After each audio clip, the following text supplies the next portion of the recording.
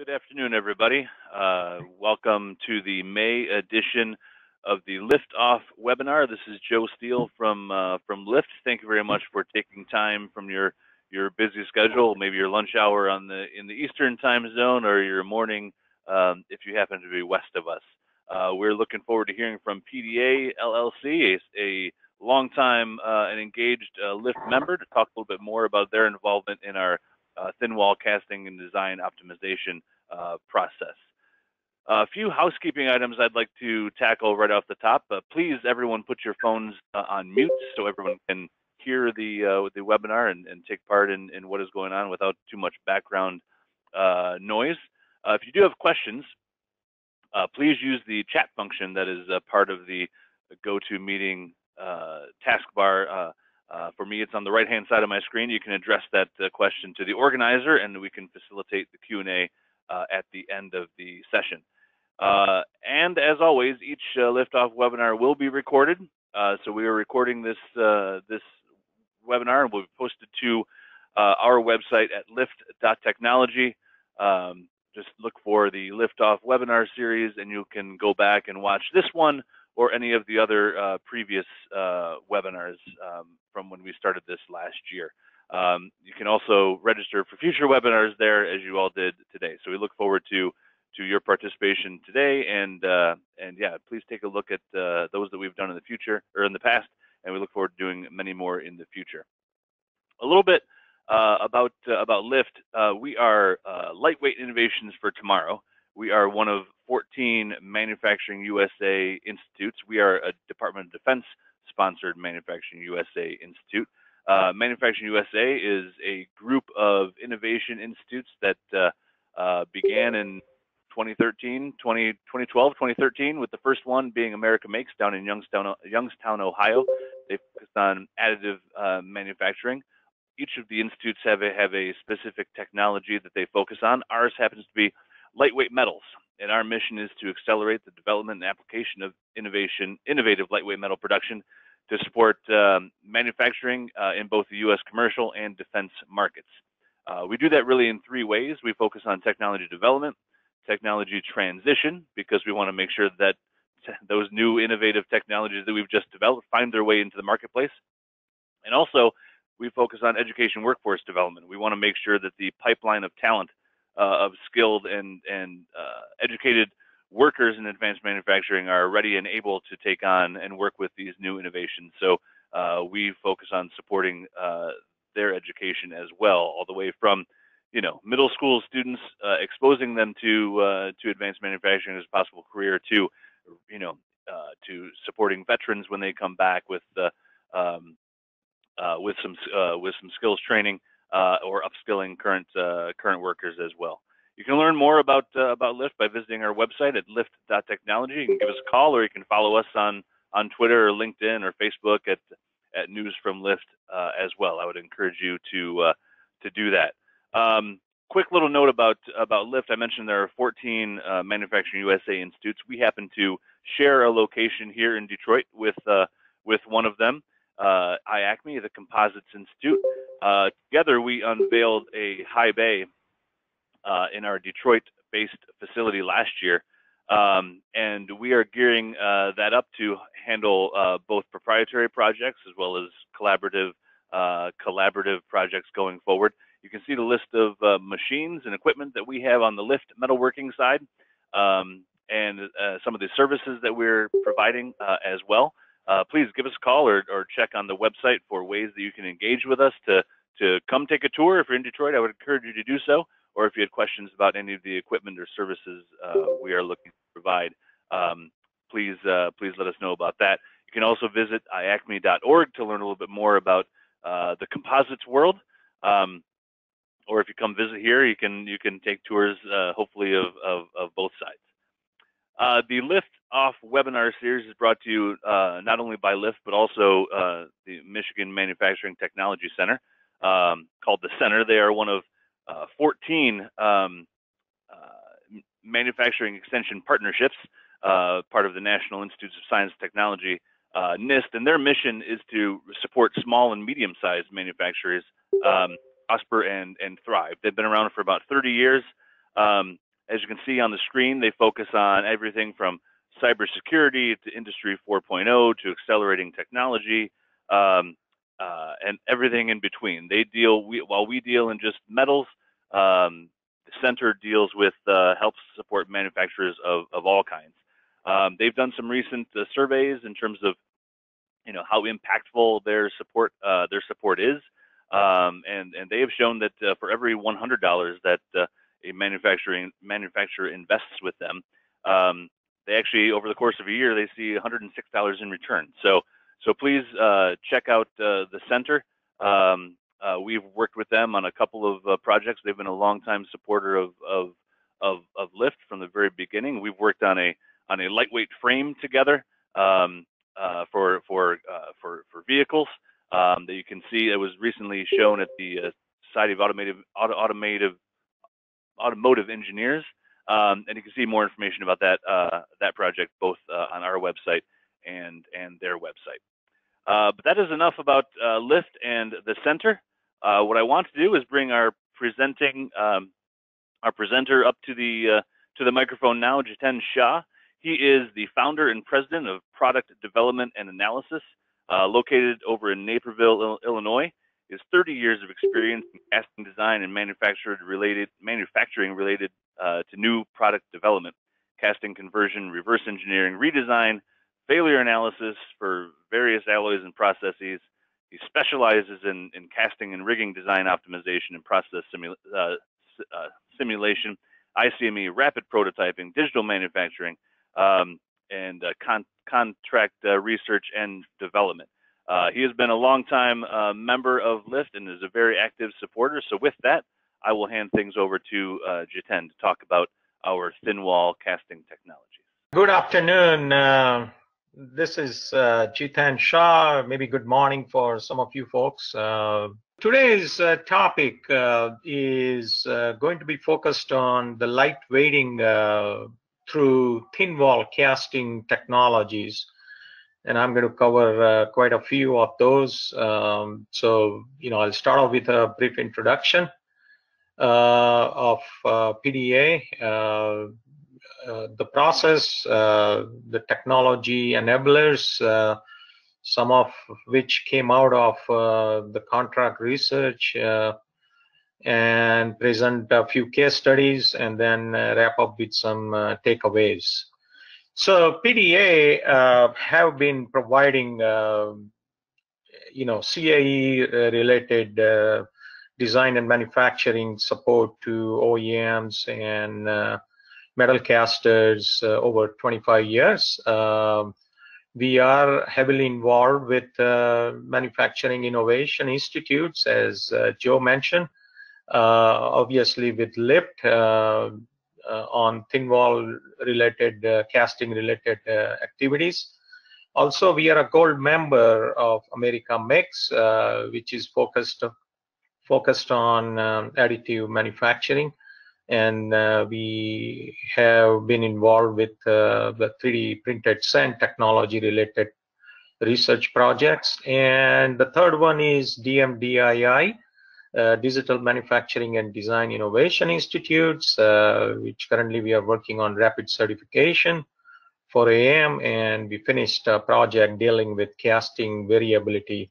We call it IM Fix. So we have been uh, quite involved on contract research since you know mid 90s uh, had a nice program funded by darpa um, since then and quite active with uh, professional societies uh, namely american foundry society ici and and some heavily military oriented ndia and ausa and on the composite side.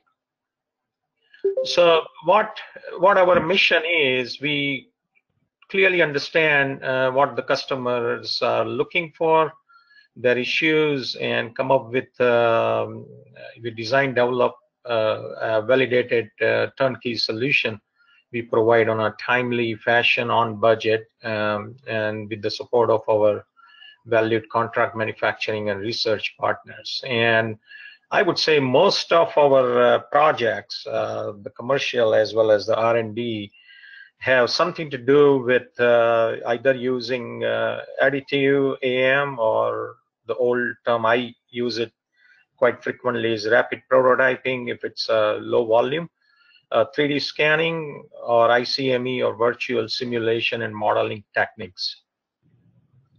Um, as I said, you know that uh, we, we, are not only involved with uh, metal casting, but we do provide similar services for plastic elastomer FRP. Um, and you know we lately we see a lot of movement towards uh, redesign or conversion uh, into casting uh, related activities for the better economics and design optimization. And you know have a host of uh, components we have worked on. I'll be able to share some of them today um, just to give you a flavor and we do occasionally get into if we are asked to redesign we deep dive and do failure analysis and understand the root cause and then try to fix it. And these are some of the tools uh, which i'm sure most of you are uh, quite familiar and maybe hands-on using it. Uh, varieties of cad fea cfd uh, this is how i started the company to provide as a service using casting process simulation in uh, 93. Uh, I call it the, the days where uh, um, this particular segment, metal casting industry, we didn't have 3D, uh, very limited 3D. Uh, everything was done in 2D and drawings, and uh, these tools were new. So I think we demonstrated to a lot of those folks the value in using these tools and some of those folks have including large companies have incorporated those as in-house but using us as kind of try out or see the value. Um, so what I'll do now is I'll I'll jump into you know share a little bit of uh, our internal process for lightweighting um, and and before I jump in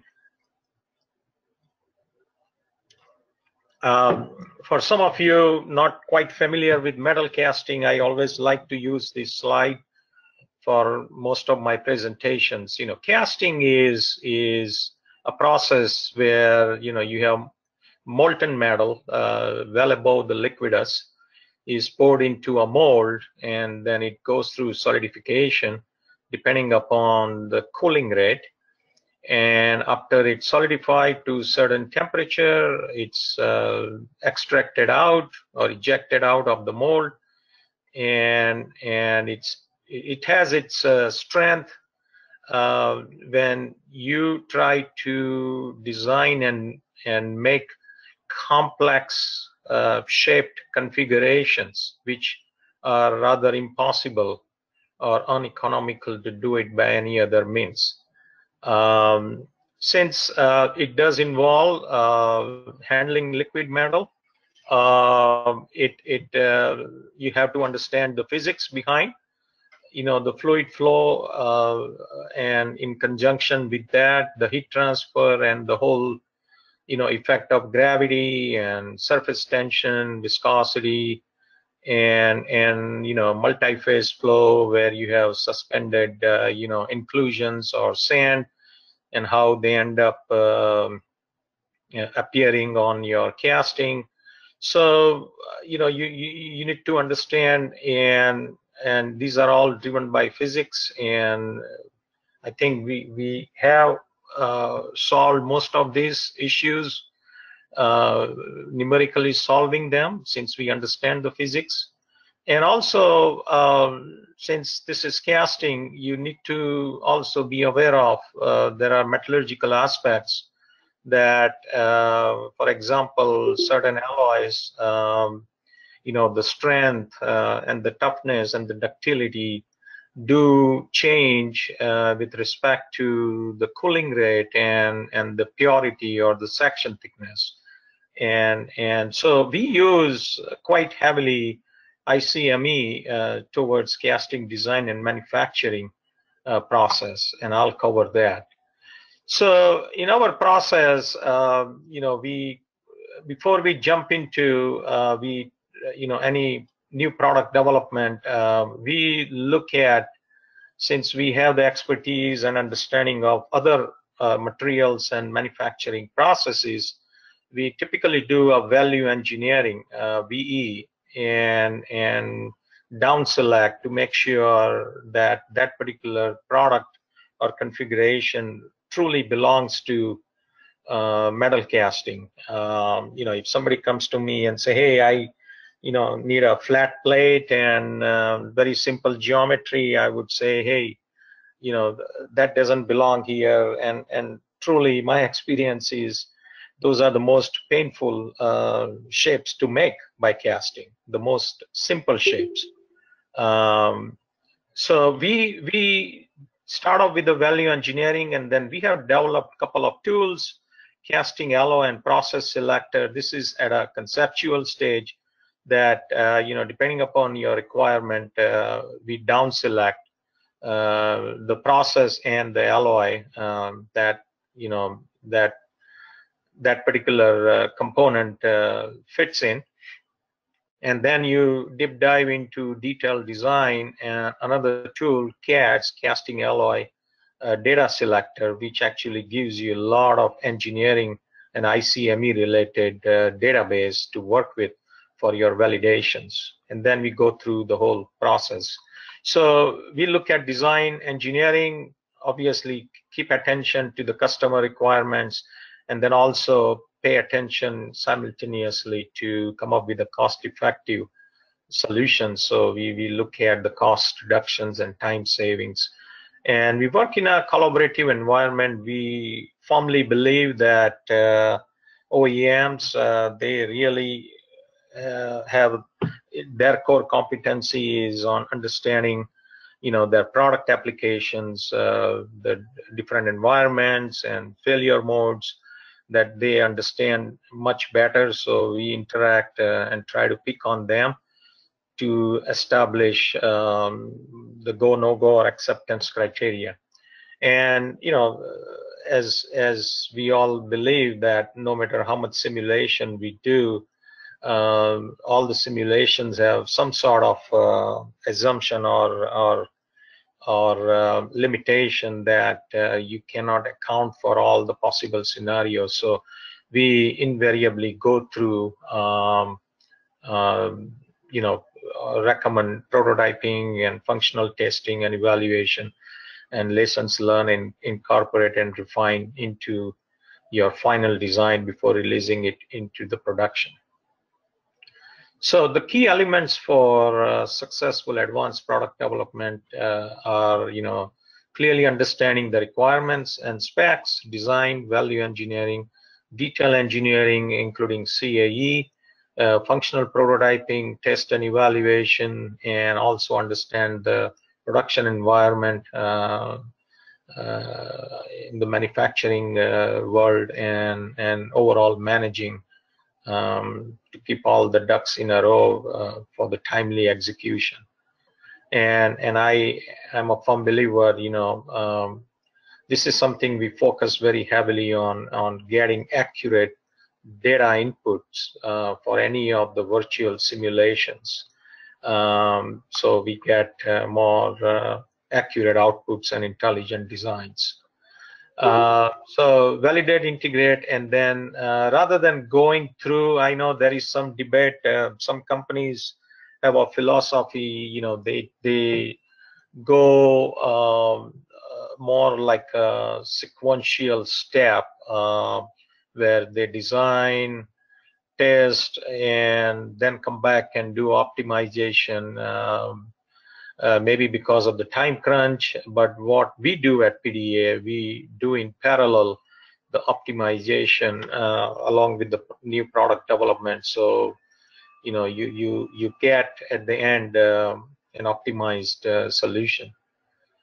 Um, these are some of so one thing we do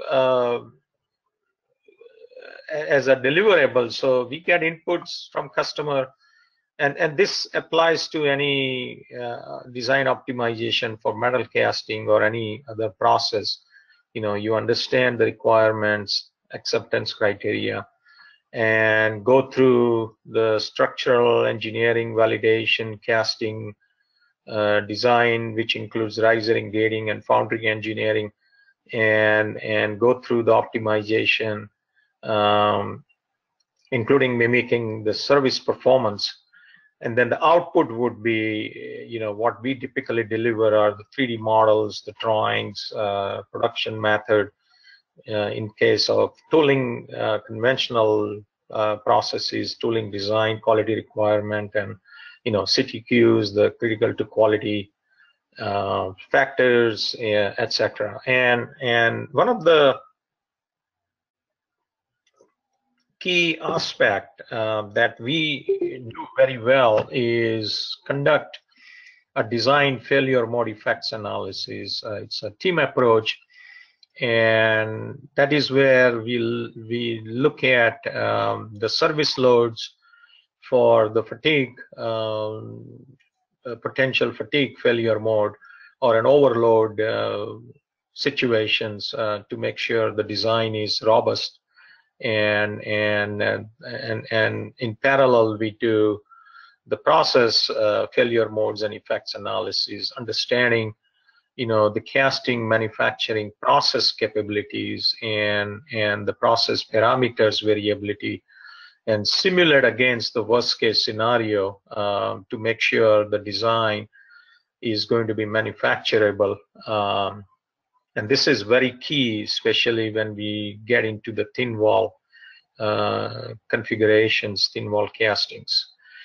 So where are the opportunities with the thin wall castings? So obviously, you know, if you are at a conceptual stage and you are developing uh, new products, uh, I think uh, this provides uh, a, a, much greater uh, to your overall design optimization goal since you know you have design freedom with feature placement you know like using uh, a solid wall uh, feature versus uh, you know ribbed structure which provide the same stiffness or even better stiffness. Uh, um, so you know, new product development, um, and and I'll I'll cover a couple of slides on knowledge uh, driven uh, and experience driven uh, design development versus there are quite a few new tools out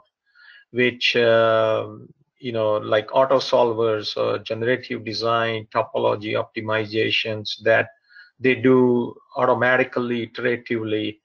And, and, and I have a few comments on that, uh, and I'll cover that. The other set of opportunities are, uh, you know, you have a legacy part or a current part, and and and suddenly, you know, you are asked to uh, drop some weight uh, uh, and optimize for overall performance of the system or subassembly. So we call it uh, redesign, or in some cases, uh, they don't even have the technical data package and that legacy part is, you know, physically available, a hardware, no CAD uh, database, uh, that would fall into reverse engineering. But the overall goal is to, you know, optimize an existing uh, or a prior product. Um, within that, uh, either you are refining existing cast or fabricated design to thin wall casting configuration, uh, the use of ICME approach, and the newer lightweight high strength alloys that you want to replace, uh, and that triggers the need for redesigning um, to to shave some weight off without impacting the performance or even pushing the limit and and uh, getting a, a, you know more more out of the current design, uh, more performance out of the current design. So as I said, uh, you know uh, all these neat tools, uh, generative designs, um, you know auto top, topology optimizations uh, if you just rely solely on them without any interaction, uh, you will get uh, non-manufacturable or non-castable designs. And, and, and here are the examples. And maybe this is okay you know, what I see is the additive uh, manufacturing uh, of the metal parts um, that they can tackle um, um, this kind of uneven wall thickness and they don't have to be concerned with how I'm going to fill this cavity with the liquid metal type. Um, but uh, I, I, my personal opinion is that, you know, casting manufacturability based on experience and rules, uh, they give you much better shot at design optimization and and and and the use of uh, virtual simulation is also very key. Uh, the figure on the right, actually, I'll I'll go in detail, but um, just to uh, um, uh, uh complement my comment, uh, this is actually a diff carrier that we had asked uh, a university student to use um, automatic uh, topology optimization. And and this is what uh, that student came up with. And and i'm like you know looks pretty cool on paper. Yeah you can reduce 50% of the weight. Basically what it does is it drops the nodes of uh, wherever you have no stress or zero stress conditions and and i started asking i'm like how are you going to get this and how are you going to feed it? And you know i mean this is not manufacturable at all. So then we took over and and used our uh, approach and yielded the result uh, which i will come back in a minute. So as of now um, the technology enablers available uh, are the ICME tools, uh, quite matured. I think the tools are available where I see are the gaps in um, uh, not having uh, the database. Uh, for example, you know, thermomechanical and thermophysical properties, uh, elevated temperature data, but the, the tools are available and I'll, I'll quickly go through. Uh, I'm very fascinated and uh, uh, about uh, the toolingless 3D uh, printed sand uh, process, which really is kind of I would say low lower hanging fruit type opportunity um, that you can easily shave off the weights uh, of an existing design, uh, which is made with the traditional sand casting process, and, and I'll cover go a little bit deeper on that. And then there are uh, newer uh, or modified alloys with enhanced properties. The the one uh, we have developed out of the LIFT project, and it's patented is a high silicon ductile iron uh, with a much higher uh, strength uh, and ductility combination that we ended up using on uh, on one of our projects for demonstrating uh, the all the way through prototyping and production, semi-production. And then another uh, LIFT 380 uh, coming out of a thin wall uh, LIFT project, high pressure die casting aluminum, which again has excellent strength and ductility uh, with uh, good fatigue data. So uh, I, I, would comment on some alloys, for example, you know, aluminum silicon based, that thinner walls actually have better mechanical properties than the relatively thicker walls. And and and what I'm saying is, for example, you make 356 uh, 3 8 wall and the properties you get are going to be much better than than half inch or one inch uh, section thickness. So so you know a lot of current designs um, which were probably driven um, by um, the manufacturability aspect have thicker walls, uh, but if you apply any of these uh, either additive or ICME tools, I think you can definitely reduce the wall thickness and and you will get an overall improvement. Uh, also, um, except the directionally solidified alloys, uh, the drafting is not that useful. Um, so, you know, I'll, I'll come to that, why I'm saying that. Um, what is ICME? I'm sure most of you are aware of. Um, it's an integrated computational materials engineering. And it, it's basically an integration of materials, uh, information, uh, the materials information with regards to, you know, like grain size, relationship to, you know, mechanical properties, microstructure distribution to property relationship. Um, but those are captured in computational tools numerically and and they tie to the engineering product performance analysis and and manufacturing process simulation like casting flow analysis um, as as as i went through earlier the casting um, since it goes through uh, cooling uh, solidification and cooling um, uh, you would see a different uh, grain size or different microstructure in the same casting shape as a function of section thickness uh, or you know how much heat is being retained or extracted the cooling rate and th therefore it is very important to to conduct a, a detailed comprehensive um, casting process simulation.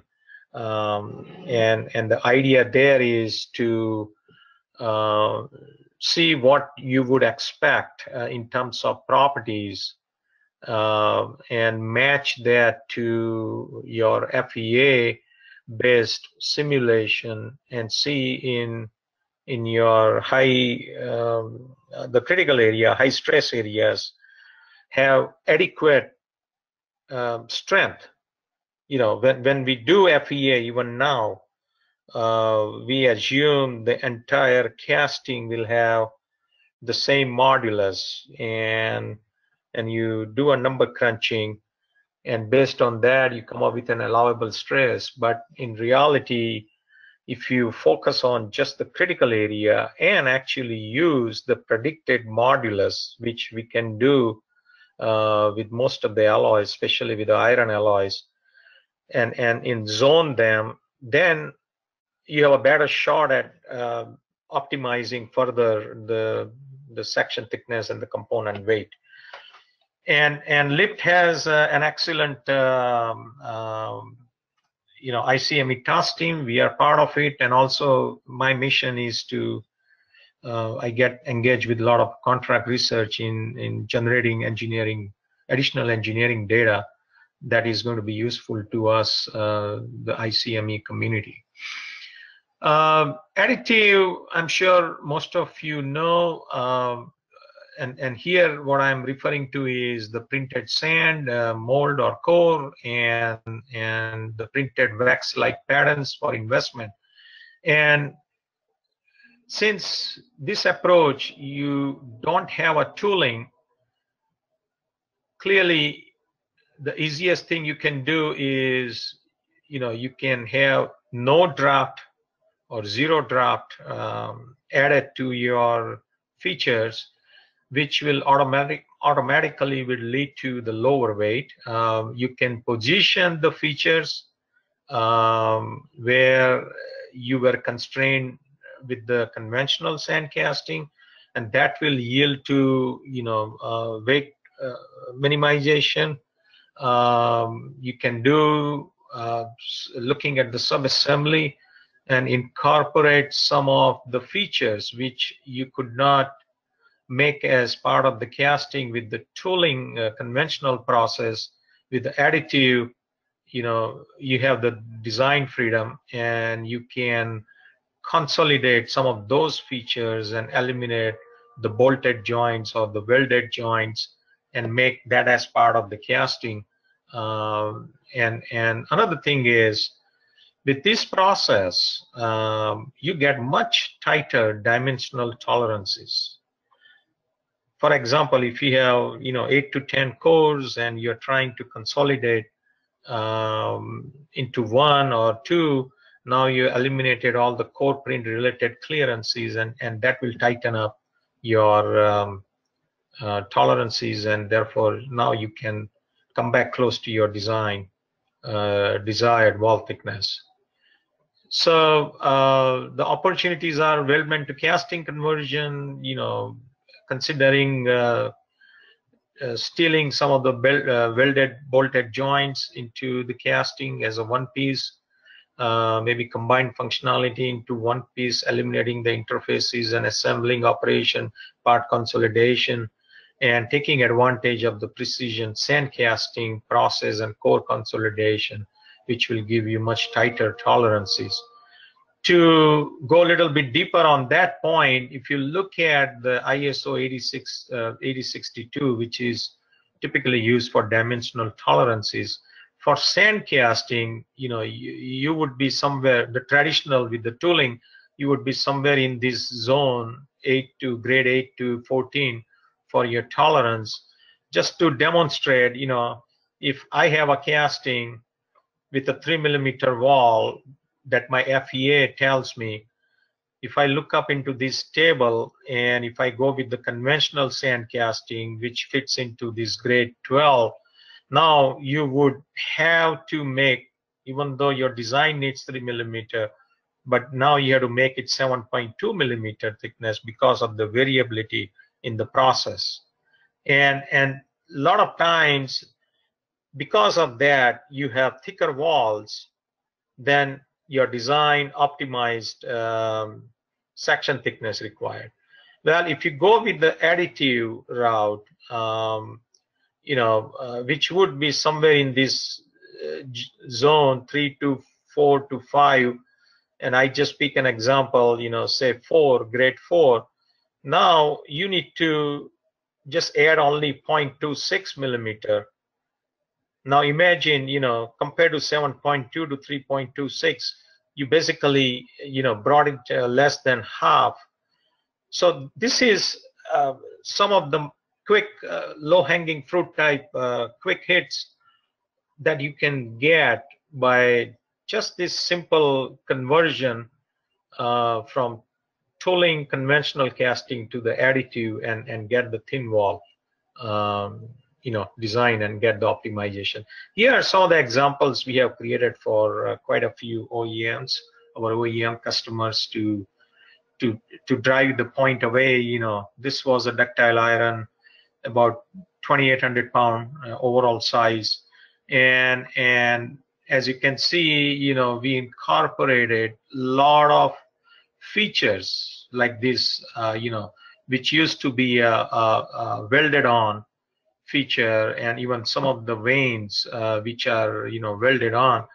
And and I said hey you know we can make the whole thing as a one piece casting and and uh, with the core consolidation and get uh, high dimensional accuracy.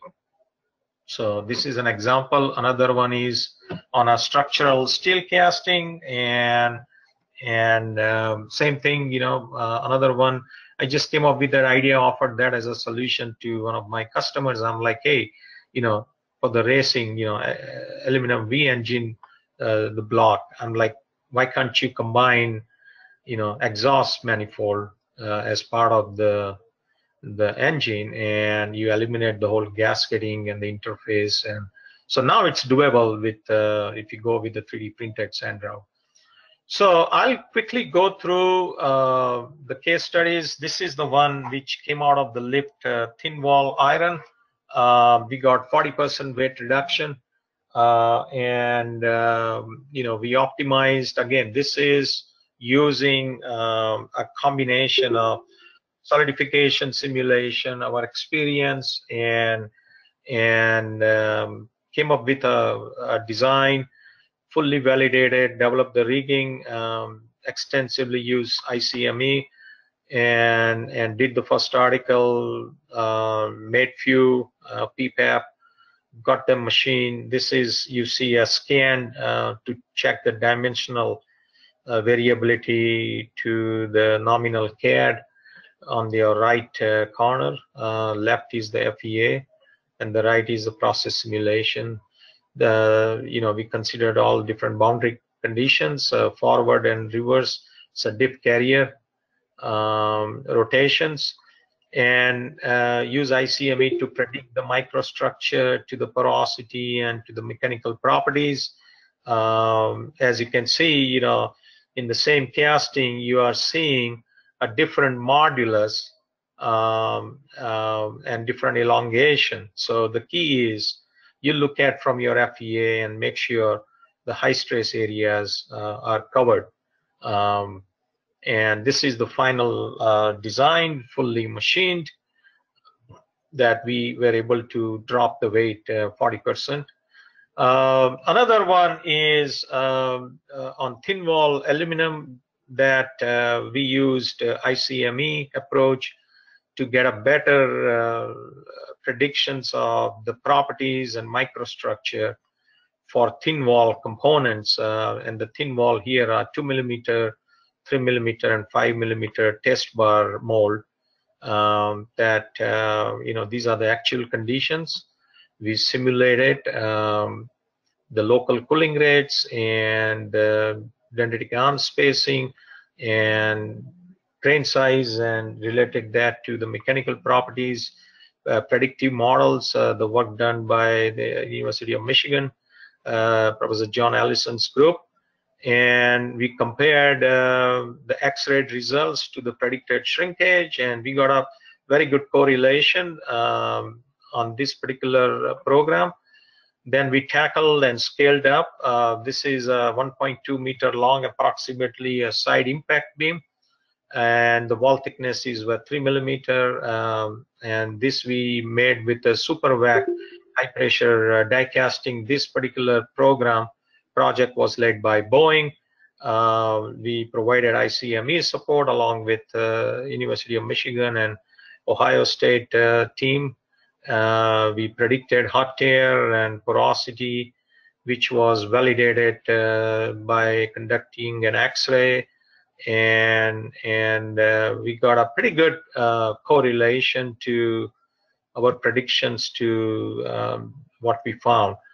Um, so we, you know, this is what we do uh, very well, and and this is important for thin wall, is to do an accurate prediction of the porosity or or tears and then apply the fatigue uh, fracture mechanics, uh, estimate the critical flaw tolerance for your design for the service load, and from there you come up with an acceptance criteria that you can impose upon by zoning the casting and communicating to your casting vendors.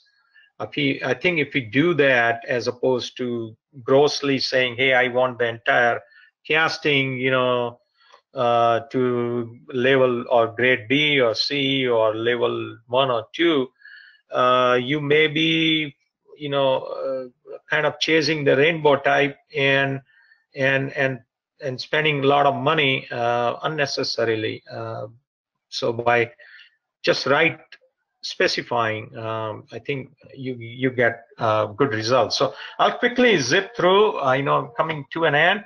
But this was a thin wall aluminum castings that we were involved uh, on a collective protection uh, for chem bio defense on a DoD project uh, that we supported and did all kind of validations, natural frequency model analysis, shock and vibe, real impact, and and develop the acceptance criteria based on fracture mechanics and critical flaw tolerance. This is for the Navy um, collective protection system for the legacy shipboard, uh, where uh, there are a bunch of aluminum castings involved, and we validated those against the MIL uh, 901 shock modeling um, and uh, the vibration per uh, MIL 167, um, and then did the castability study um, this one is, uh, uh, you know, I would put into a thin wall because the wall thickness is where about 3.8 to half inch, but the overall casting was about five feet by five feet envelope size. Uh, for Aegis Cruiser, this is, I don't know if you can see it, but this is the Aegis Cruiser and the radar antenna um, uh, on which the dish gets mounted. That used to be a steel weldment and we converted into a one-piece casting and it's in production for several years uh, successfully. Uh, another one is on the transmission case. The here I would say takeaway is, I mean, this was the pre-additive era, but if we have to redo it, we would have achieved uh, much better results in a shorter time frame by consolidating. If you can see here, 34 cores. I think we could have dropped those into maybe two or three and, and eliminate all the variability with their uh, core fixturing and gluing and putting them in in in place uh, together. Uh, but again this was a while ago. We were able to execute in seven weeks thanks to the process simulation and uh, the rapid tooling approach a uh, few on the ductile iron hub. We have done quite a bit of work uh, produced thin wall.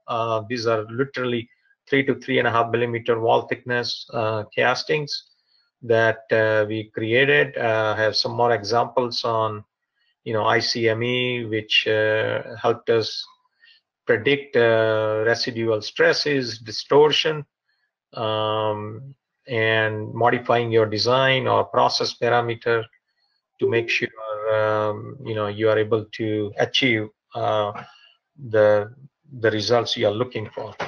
So some on the titanium, copper alloys, a large oil pan. Um, uh, this something uh, we did it a while ago for the U.S. Navy. Uh, these are 500 and 2,000 pound bunker buster. We converted those from steel to ductile iron, specialized ductile iron castings, successfully used. This is for GD um, subrack aluminum casting, thin wall, and this is thin wall um, stainless that we made a whole bunch of components for a rail car through design validation testing and and the last one is a composite uh, uh, pilot housing for Mark V boat uh, for SOCOM that uh, we executed through. So uh, you know, basically we we we collaborate uh, and even work with uh, very large OEMs as well as small companies. And and uh, I thought we'll just share our process and and how we tackle uh, getting thin wall and lightweighting metal casting. Um, so I would say in a wrap up, uh, thin wall casting technology is a viable solution for lightweighting using current state-of-the-art technologies, especially ICME, additive uh, printed sand, and some of the newer alloys, uh, just designed for making thin wall uh, castings in iron and aluminum. And, and we do believe that knowledge and experience-driven designs would yield much more manufacturable solutions than uh, some of the automated uh, design tools, which I feel are more suited for 3D printed metal. So with that, Joe, I would uh, uh, take a pause, and uh, I know we have a few minutes. if you want to, if you have some questions, I know I spilled over a little bit.